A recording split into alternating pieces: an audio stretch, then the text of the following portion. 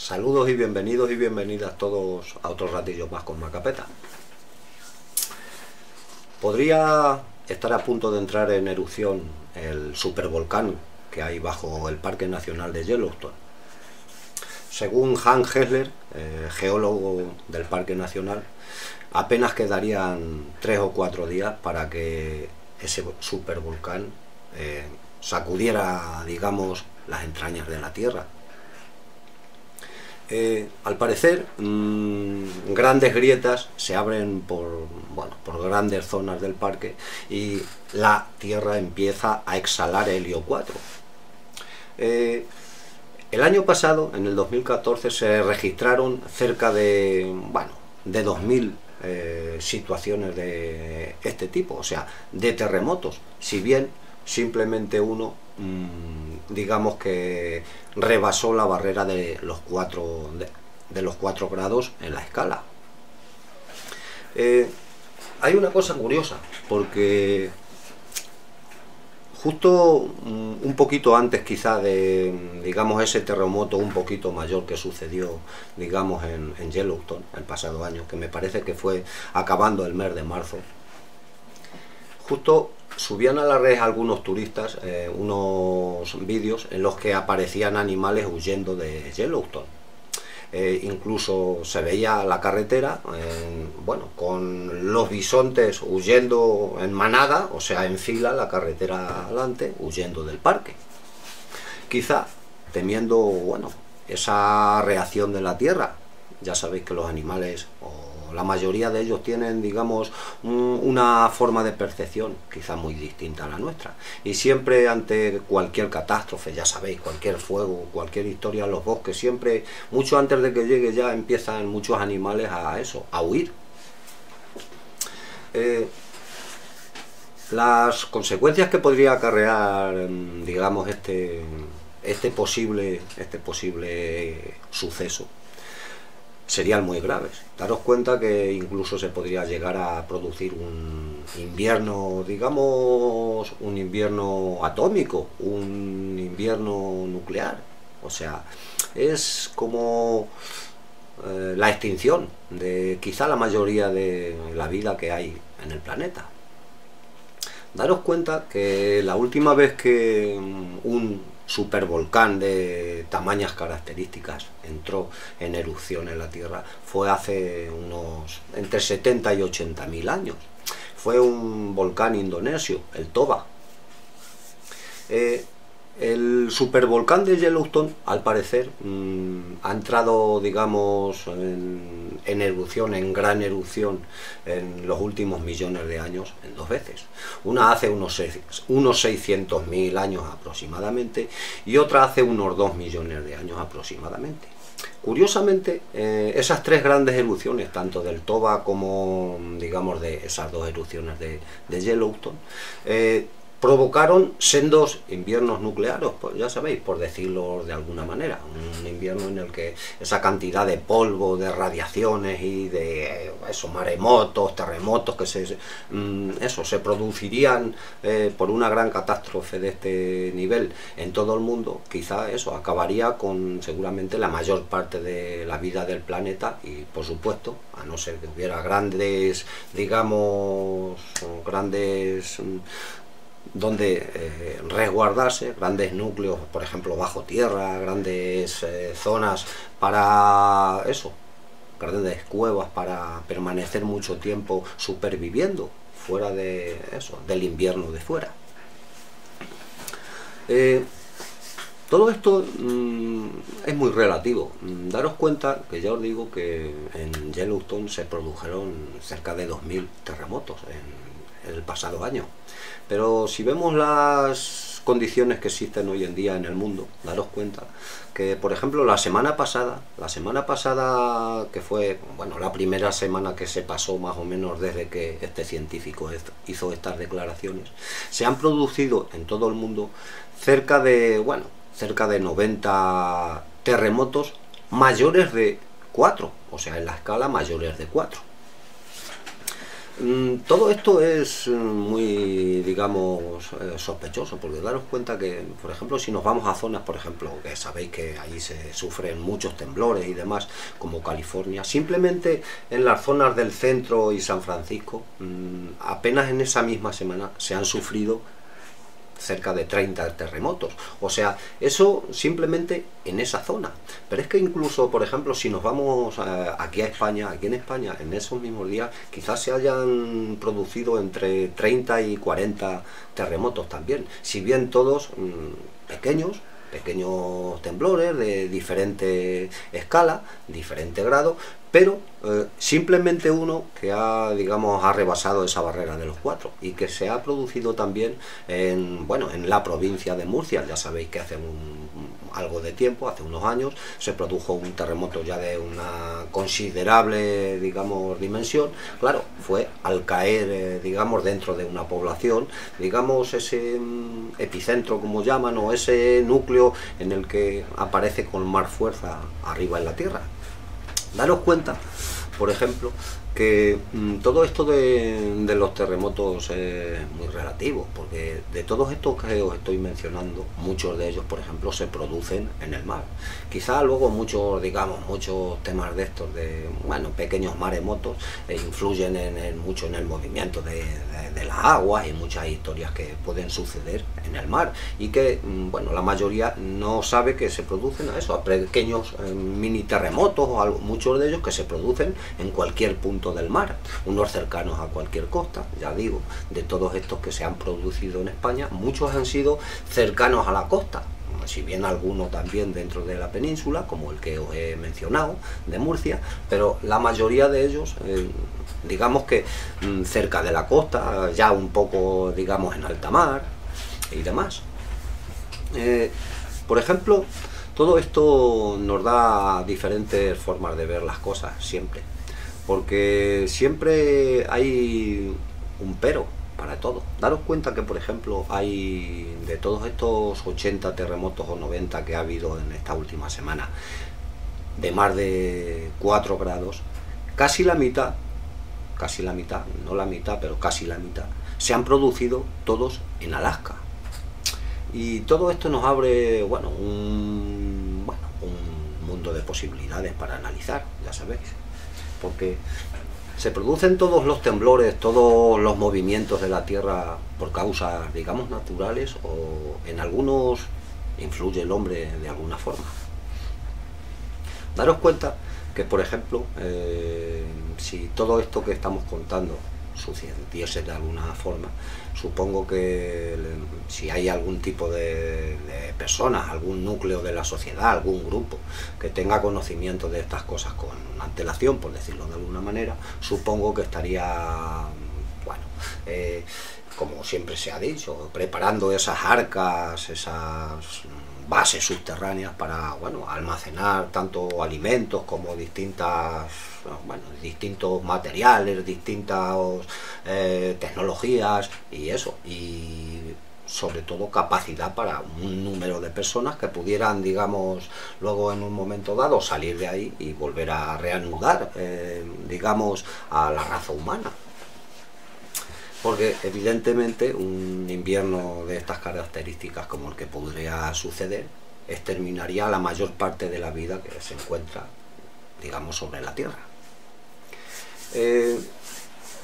hay muchas formas de ver las cosas, por ejemplo, ya os digo que en Alaska hace, bueno, hace, eso fue en los años 50, a finales de los años 50, se quería ejecutar, digamos, un tipo de, plan, un tipo de tecnología para saber si se podían hacer, digamos, de una forma mm, esas grandes cavidades bajo la tierra, o sea, excavar grandes zonas de grandes rocas muy duras, por ejemplo, por ejemplo, para hacer el arca de Svalbard, que ya sabéis que es donde guardan, dicen entre otras cosas, semillas y demás para una posible catástrofe de esas, pues por ejemplo, para hacer grandes concavidades de esas, se estaba, digamos, ya digo, a finales de los años 50 del pasado siglo, se estaba llegando a, digamos, en las investigaciones a, una nueva tecnología para realizar eso. Eh, mm, los encargados de, digamos, de, esta tecnología eran, digamos, dos personajes que habían estado trabajando, por ejemplo, en el proyecto Manhattan, en el, proyecto de las bombas atómicas, la energía atómica y demás. Y estos dos personajes, eh, bueno, digamos que tenían mucho que ver con ese proyecto que se quería efectuar en Alaska. Ese proyecto era el plan Chariot. Ese plan Chariot que quería, bueno, eso, hacer esas excavaciones, esas pruebas, a ver si se podían hacer grandes concavidades, de alguna forma, sin, bueno, sin mucho trabajo, sin mucho esfuerzo, sin mucho tiempo y, demás. Ya digo que, mm, por ejemplo, en, aquella época, en, en el año 1958, Eisenhower era el, digamos, el presidente de los Estados Unidos. Y tanto su homónimo en Gran Bretaña como en la antigua Unión Soviética, que eran, digamos, las tres potencias nucleares de entonces, las tres potencias que estaban eh, hasta entonces llevando a cabo múltiples pruebas e investigaciones, daros cuenta que simplemente las oficiales eh, reflejan más de 200 pruebas nucleares, o sea, explosiones nucleares de diferentes tipos en todas las partes del mundo, simplemente, ya digo, las oficiales, las conocidas por estas grandes potencias. Eh, mm, entonces se estaban llevando a cabo por multitud de organizaciones y, demás diferentes, digamos, pruebas también para analizar los efectos que se estaban produciendo en el planeta debido a, digamos, a esas mm, partículas que se estaban extendiendo de diferentes formas radiactivas. Esas partículas se les llamó fallout las partículas fallout fueron bueno, una forma de empezar a ver que quizá cada explosión nuclear, eh, eso, su rango de extensión iba mucho más allá, tanto en las consecuencias físicas como en el tiempo, mucho más allá de lo que nos cuenta. Por ejemplo, daros cuenta que ya de que la opinión pública empezó a atacar, sobre todo, por ejemplo, a Eisenhower, pues bueno, se empezó a crear, digamos, una especie de, eso. Empezaron a hacer como que iban a hacer un gran acuerdo en Ginebra, donde, bueno, se ponían unas bases para empezar a parar un poquito eso de las pruebas nucleares y demás. Lo que pasa es que esas pruebas nucleares, o sea, ese acuerdo al que se llegó, digamos, de parar un poquito el tema, pues en realidad no tenía ningún órgano, no había ninguna forma de, comprobar si esas, digamos, pruebas seguían adelante o no seguían adelante. Eh, al parecer, mm, según algunas informaciones, eh, Eisenhower, ya digo, pidió a su, digamos, a su consejo de, científicos y, demás, un consejo sobre si de alguna forma se podría llegar a, digamos, a, adivinar, a comprobar si una explosión nuclear, digamos, subterránea, podría llegar a, digamos, a comprobarse por medio de pruebas que hicieran otros países y demás, que eh, eso, que eran, digamos, explosiones nucleares o se podrían confundir, por ejemplo, con un terremoto, por decirlo de alguna manera. Entonces, eh, al parecer tuvo, digamos, Eisenhower tuvo una respuesta, bueno, mm, digamos que satisfactoria para lo que supuestamente quería eso, hacer, porque eh, lo que querían hacer era, ya digo, estos dos personajes que os he mencionado, George y Teller, eh, estaban detrás de ese plan Chariot, al que dicen, dicen que, mm, bueno, mm, no se ejecutó en Alaska ese plan, pero ya os digo que daros cuenta, por ejemplo, el nivel de terremotos que hay, digamos, en Alaska, por ejemplo, últimamente, ya os he dicho, esto simplemente en la última semana, treinta y tantos terremotos en una zona de más de cuatro en una semana y eso es una cosa que quizá tenga que ver con muchas historias. Ya os digo, a Eisenhower, al parecer su consejo técnico le dijo, bueno, que no se podría comprobar eh, prácticamente si eso era, y más, eso, si no había un órgano especializado, muy especializado y detrás de todas las historias estas. Estos dos personajes, ya digo, eh, George y Teller, mm, llevaron a cabo diferentes proyectos como el proyecto Reja de Arado o la excavadora de trinchera, Plossar y Dissinger, más o menos los nombres que tenían. Y estas, estas tecnologías eh, lo que querían era eso, era, lo que valían era para eso, para excavar con explosiones atómicas, con mini bombas nucleares, por decirlo de alguna manera, grandes concavidades en zonas eh, donde la roca fuera muy dura, o bueno, donde, en, realidad donde sea en el subsuelo, o sea, lo que quisieran excavar en el subsuelo, querían, mm, mediante explosiones nucleares, eh, bueno, pues crearon esas dos, digamos, esos dos engendros que eran los que realizaban de alguna forma ese, digamos, ese mecanismo. Eh, curiosamente, mm, este, digamos, personaje, uno de estos personajes, Herbert George, estaba en Argentina más o menos en los últimos digamos, en los últimos días de mayo de 1960. Eh, curiosamente, hay una zona de Argentina en la que, bueno, eh, en, aquellos días, en mayo de 1960, se estaban realizando, digamos, unas extrañas estructuras que a lo que las explicaciones oficiales no convencieron a nadie, ni del entorno, ni a de los investigadores, ni de nada. Pero bueno, al parecer aquellos lo cerraron como zona restringida y allí, pues prácticamente simplemente se veía de llegar, digamos, maquinaria, de llegar historias y demás, ¿no? de llegar camiones, de el tema está en que justo el 12 de mayo, el 12 de mayo la prensa local advertía ya que bueno, los trabajos, la primera fase de los trabajos de esas instalaciones estaban terminados, tanto digamos las inspecciones geológicas, hidrológicas y demás que estaban haciendo, ya las habían llevado a cabo. Justo unos días después, me parece que para el 18, al parecer un barco atracaba en esa bahía Uruguay, el San, el San Bartolomé, cargado de una gran infraestructura, bueno, eh, según algunas, eso, algunas investigaciones, según algunas declaraciones, pues bueno, eso era bueno, un gran compendio de tecnología y que transportaron desde un punto ya por camiones y demás a, la base ya que habían hecho. Y ya digo, según algunas investigaciones, mm, para, iba cargada también con un excedente, podríamos decir, de científicos, porque al parecer iban más de una centena de científicos de diferentes especialidades.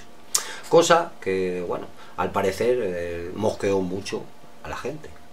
Justamente ya os digo que en ese mismo día, en ese mismo día 21, en el que quizá podrían haber tenido ya resuelta todo el montaje de todas las instalaciones y con todos los científicos allí, según algunas informaciones, podrían haber hecho algún tipo de prueba con, ya os digo, eh,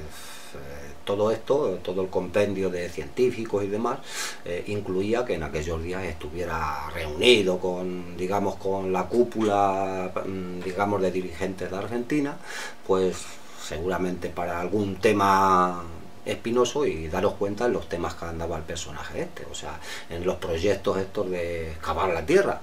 Y curiosamente, mm, ya digo que esta zona de esta bahía Uruguay de Argentina, pues es como, podríamos decir que si ahí se hicieron ese tipo de pruebas, podría tener que ver algo, mm, aquellas pruebas, con el terremoto que justamente un poquito más arriba, en Chile, se,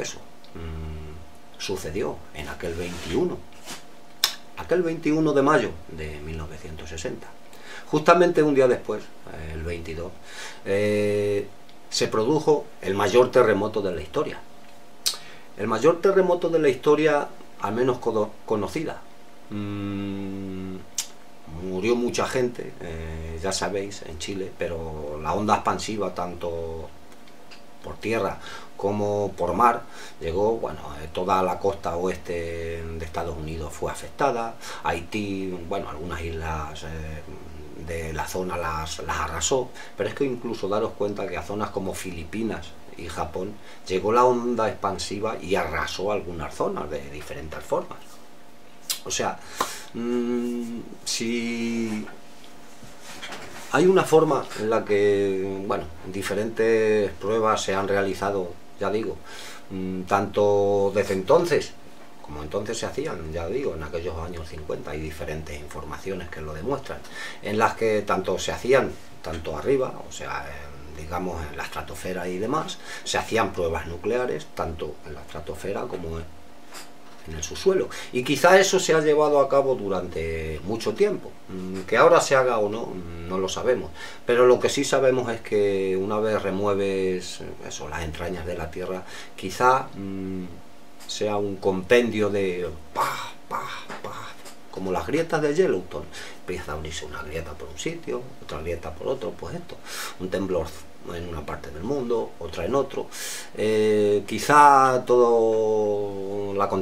la, contaminación que nos dicen, la que daña esa capa de, bueno, que dicen de ozono y demás, quizá tenga poco que ver la contaminación que efectuamos de la forma que dicen. Quizá esas pruebas nucleares tengan que ver mucho con todo eso. Quizá muchas enfermedades y la mayoría de los cánceres también tengan que ver con este tipo de pruebas que, bueno, ya os digo, dejaron partículas mm, quizá en todos los sitios, tanto de abajo como de arriba,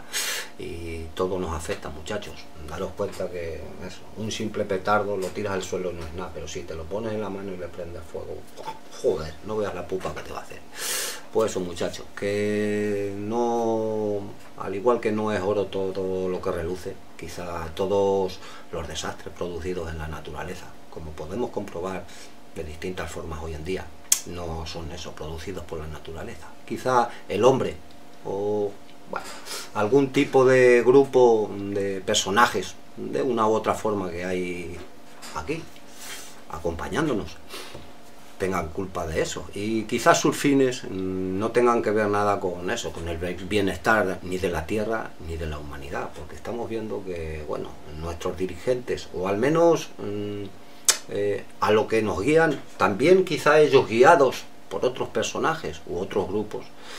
tanto a nosotros como eso, como a la naturaleza, a la que bueno, perjudican de miles de formas y luego lo único que se les ocurre es eso, cerrarla para eso, el acceso a la gente, que no te vayas de camping, que no enciendas hogueras, así como si todo eso, todos los grandes incendios y todos los grandes mm, eso, catástrofes fueran provocados por una cerilla.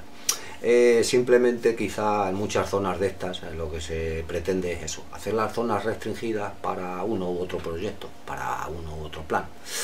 Eh, mientras, pues bueno, intentaré desde ahora empezar a contar las cosas de otra forma, empezar a eso, a montar Macapetalandia, este canal que bueno, creo que puede ser de todos de verdad. Ya sabéis, muchachos, somos soy otro.